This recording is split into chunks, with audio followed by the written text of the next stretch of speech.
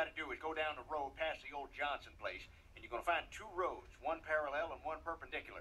Now keep going until you come to a highway that bisects it at a 45 degree angle. Solve for X.